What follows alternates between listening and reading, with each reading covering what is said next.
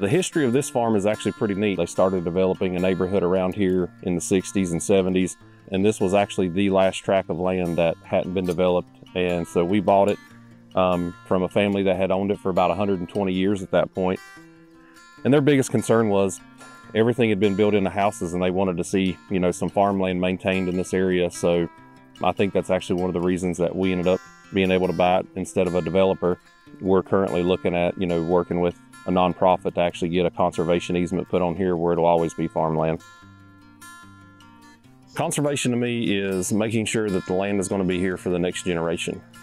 When we think about land conservation, we're thinking about reducing tillage, which helps us reduce erosion, planting cover crops, building that soil and that organic matter. We also know that, you know, carbon is the ultimate driving system now. And then also really conservation of all our other resources. When we keep the soil intact, we don't flush nutrients into the water system. We keep our water clean, and that's just better for every generation to come. My look at regenerative agriculture is I'm going to increase the value of this land, the production of this land, and try to make it where if my kids decide that they want to farm, it's going to be easier for them. They're not going to be as reliant on fertilizer. And so for me, I think that if we're increasing water cycles, mineralization of fertilizer, and, and that nutrient cycle and that biology continues to go up, to me, that's regenerative ag.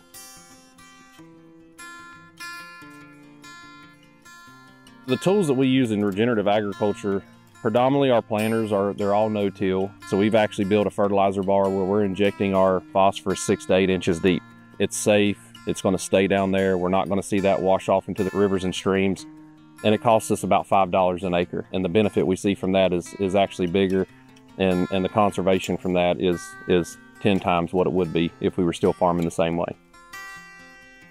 You know, really looking at all the different principles of soil health and all the different ways that we can actually affect land has really been able to increase our resiliency when it comes to hard weather years.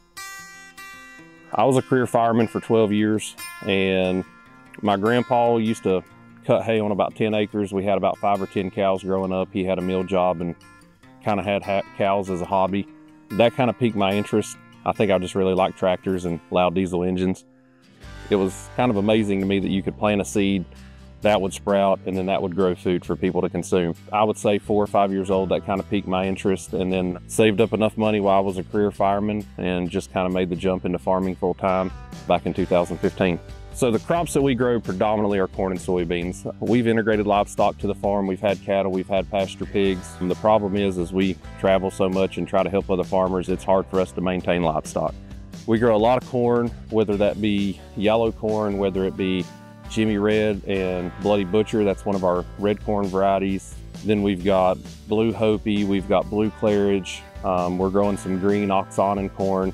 What we try to focus on in our grain production is where can we go value added. There's a group of farmers that we pulled our resources together and started Regen Mills, which is a mobile mill that we can grind grits, corn meal, we can grind flours, we can do gluten-free like buckwheat, sorghum. Another avenue is the distilleries for us. So we supply City Walk, Foothills Distillery, and then we also have Old Nick Williams and Farm Reserve Distillery that we supply those three distilleries with grains that they can turn into bourbon, whiskey. They're actually making gin and vodka out of it now. And so trying to go after those those higher end markets really has helped the bottom line of the farm. For me, I just want to make a living at farming that we make enough money that my family can live comfortably. I don't think we have to get rich at farming. I don't think any farmer gets rich at farming if they're doing it honestly. But for me, it's just to have a the, the option for my kids to come back to the farm. If they don't want to farm, that's fine with me. This is my dream. This is my passion. If they don't want to farm, when I retire, we'll sell all the equipment. We'll probably lease the land to another farmer that wants to have farmland because we continue to lose farmland here to development but I'll just cash out the equipment and maybe have some money to help my kids follow their dreams.